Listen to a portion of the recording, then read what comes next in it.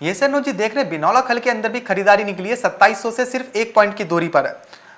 2600 के लेवल से सिर्फ़ एक पॉइंट की दूरी पर है बिनौला खल का डिसंबर बाद है इस वक्त। आपको क्या लग रहा है? क्या 2600 आज मार्केट क्लोज होते होते देखने को मिल पाएगा?